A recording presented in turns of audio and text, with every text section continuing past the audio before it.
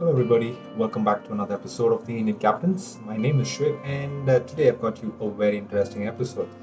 Uh, most of you guys uh, are aware of the pilot exams that happen in India, and uh, across the globe, we all have different levels of pilot exams, be it for your PPL, CPL, or your, for your ATPL. So today, um, we've been uh, getting a lot of queries as to how do we need to prepare for a DGCA, which is the Indian Civil Aviation Authority uh, pilot exams um, and how do you how do you uh, approach the subjects? What do you need to study? Uh, any study materials uh, if any to be re- uh, referred? And um, what can be expected from the paper? So today i'm going to be giving you a little bit about uh, every single topic and every a little just about all the subjects. So stay tuned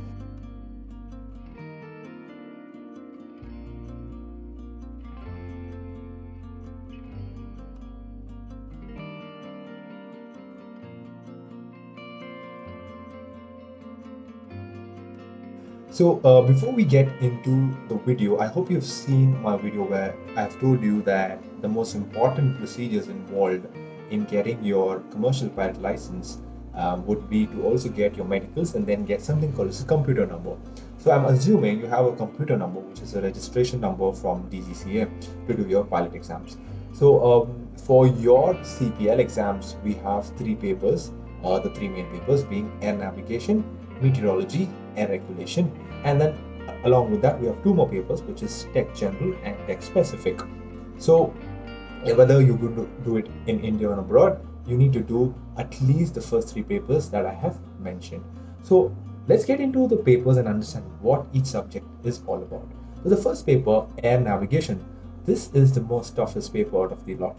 Why? Because uh, your air navigation consists of various sub subjects which I mean to say is that it's not one subject that you're studying, you're studying various sub subjects included in the air navigation paper. So, one of which um, is your general navigation, uh, which is basically you're going to be talking about lats, longs, rhumb lines, great circles, a little bit about the projection of charts, um, and uh, a little bit about distance calculations, your CPPNR, which is your critical point and a point of no return uh, those are some of the calculations that you're going to come up uh, in the general navigation. Uh, then um, we have something called as the instrumentation, which is nothing but uh, studying about your instruments, how your instruments function. Um, if in case there is a failure, how, how do you what do you how do you need to detect that failure and how do you need to correct it and take your uh, step of actions. So that's that comes to instrumentation, and instrumentation can consist of both analog instruments as well as the digital or your Garmin setup or your G1000 setup. So um, a little bit about all of that is discussed in the instrumentation part. The third and the most important part is your radio navigation or radio aids part, which is basically navigation by using radio aids such as a VOR and NDB. So these are aids that are going to help you to go from one place to another uh, with the navigation facility and also going to help you to do your approaches. I think you've already heard about your ILS and your um, other VOR approaches, your non-precision approaches to get to a particular airport. So uh, these are uh, the chunk of navigation part and some people forget that these three are the main topics there are two more topics that come that are also asked one being from your mass and balance which is basically calculating the aircraft's takeoff weight adding in fuel passengers and cargo. Uh, and then uh, we also have uh, which is also called payload calculations. That comes from the mass and balance uh, part. And then we have a little bit from the performance part uh, with regards to your loading um, and your stabilities. So um, all in all if you uh, consider uh, the the portion in air navigation is vast and we have a collection of theory as well as practical the most important uh, question that most people ask me is what do i suggest or which which part of this should be given more preference uh, trust me, with my personal experience and with who I, whoever I have known and who have, who have taught, um, uh, the consensus to this is that you can't really leave any part. Why? Because there are times in the exam where there is one part given more weightage and you get more questions out of it. And on another attempt, it's a very different story. Like there are attempts where you have a lot of theory questions, and there are attempts where you have a lot of practical or numericals. So you need to be uh, basically you need to know everything or whatever is in the portions to avoid an untimely uh, result. That's point number one. And with air navigation, um, it, it has 100 questions, MCQs, A, B, C, three options. You need to choose one option and there's no negative marking. And you need to get a 70 to pass. So this is with regards to air, naviga uh, air navigation and how you need to approach to it. Uh, next, more, let's move on to aviation meteorology. So what is meteorology? Basically, it's the study of weather. So uh, as you all know, for pilots, the weather is very important and um, and is a major cause of um, you know a lot of decision making for a pilot while he or she is flying. So you need to know how the weather changes. Uh, we're talking about front movement we're talking about rainfall we're talking about pressure changes we're talking about cyclone um, formations and so on and so forth. So we're talking about a major part of um, weather and how weather can change in, in, in a fraction of a second. So uh, if you ask me uh, are there any sums? Very minimal sums uh, very two to three types of sums which can be done without a calculator and calculators are not allowed in MET. Um, but um, there are a lot of theory questions and can be a little tricky. So aviation meteorology is something that you need to focus on as well. And again, it's 100 marks. Uh, passing would be 70 and it's multiple choice questions. Moving on to the third subject, which is your air regulation. So what is regulation? Basically, basically they're just rules of the air. What you need to know uh, as you're flying the aircraft from one place to another and things that you need to follow. Again a completely theory based question paper. And this is a very famous question uh, subject. Why? Because of lately many people have been uh, failing to secure the 70 uh, mark target because uh, the, the, the, questions kind, kind of get very twisted. Uh, they're, very, they're framed a little differently and it takes a little bit of understanding and breaking of the english language to understand and can lead to um, your answers being turned wrong. So you got to be very very careful. Uh, it's taken it's usually taken very uh, lightly. Uh, you shouldn't, um, and make sure you give attention to your air regulations. Um, it can have things from you know um, rules of the air, your annexes, um, uh, your lighting, uh, your lightings in the runway, and a lot of other uh, you know indications that you need to know in the airport. So um, these are the three main subjects and we move on to the two other subjects which is your tech general and tech specific. So um, why do we not, uh, why do I not uh, focus this like in, in the previous video even when during the conversion uh, videos I have told you that at least complete these three papers because this is the mandatory requirement even if you're doing a flying abroad. So whenever you come back you have your requirement. Uh, so your tech and specific, uh, your tech general and tech specific. So tech specific specifically is nothing but your um, uh, you know a, a, study about your aircraft the aircraft you fly. So in india whichever aircraft you fly you need to do a specific exam. So let's say you fly a cessna 172 you need to do a cessna 172 exam. So it's going to be all about the 172 which is basically from your poh pilot's operating handbook so everything's going to be from that. So again it's a 100 mark and then you need to pass with a 70 and then we have a tech general which is a little bit about aerodynamics and a little bit of um, uh, the basics that you need to know very well and can get very tricky, often termed as a very tough paper along with navigation. So these are your five papers that are the most important uh, for DGCA exam prep. Um, apart from this, we already have an RTR exam, which I've already discussed in another video. If you haven't checked it out, make sure to click the link here and check the video. So uh, these are your five subjects that you need to pay attention to. Now you're going to ask me what is the study material recommended. So here it goes. So for your air navigation, what we usually see in the um, in the exams is questions from Oxford, uh, which is a book from the European uh, uh, countries.